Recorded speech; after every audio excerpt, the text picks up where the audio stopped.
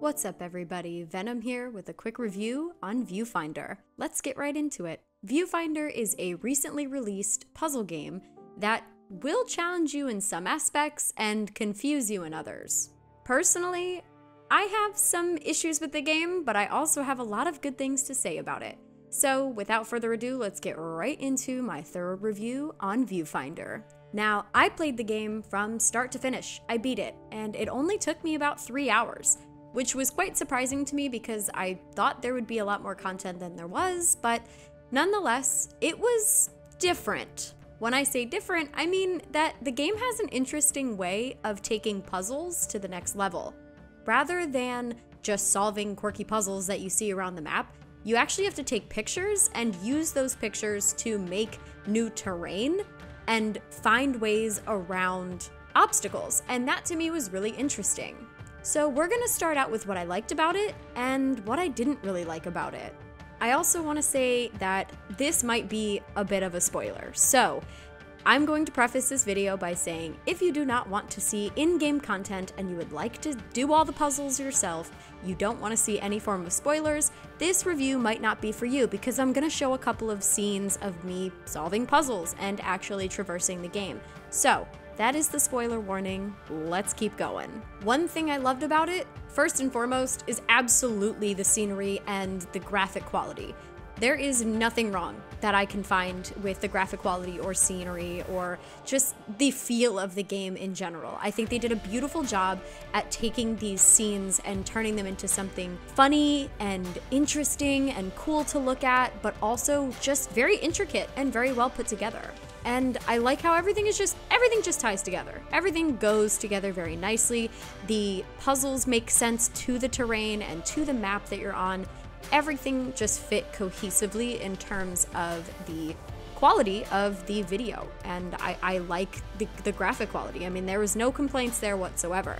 I think that that's a big part of this game is the views, right?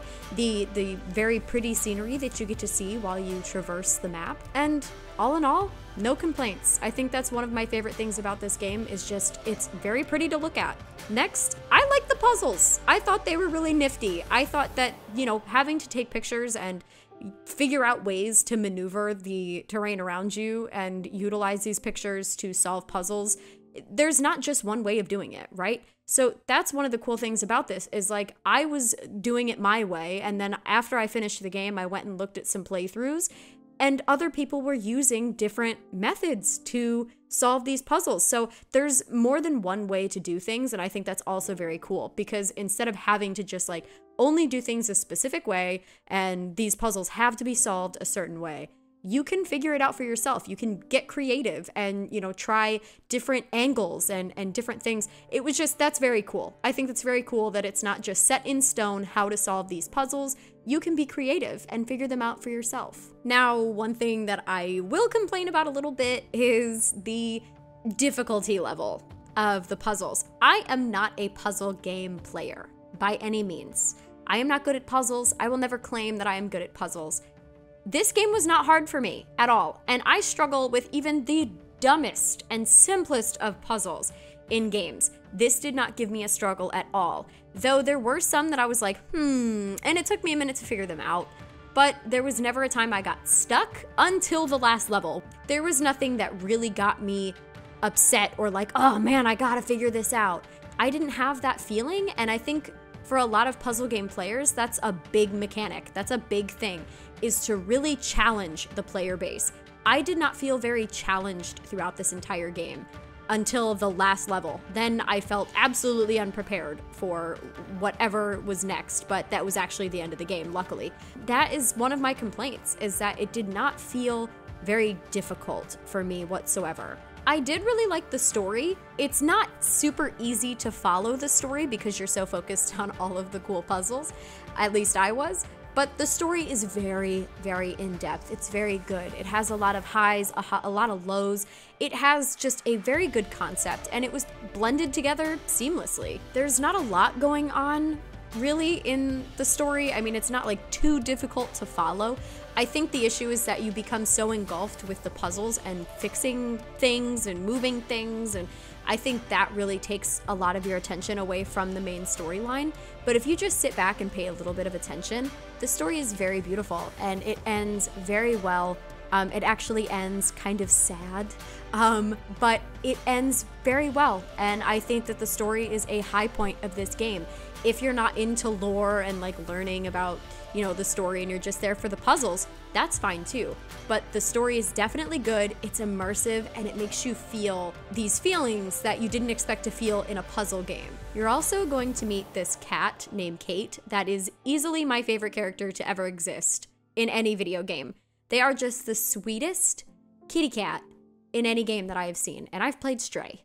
And this kitty cat gives you guidance. They try to protect your feelings. I think that this cat in game is just a phenomenal character, and whoever came up with the concept art for this this cat is just amazing. The concept art is super cool. I like the look of him. Um, I like that he, you know, tells you things in detail, but also doesn't tell you a lot because he doesn't want to spoil what's to come.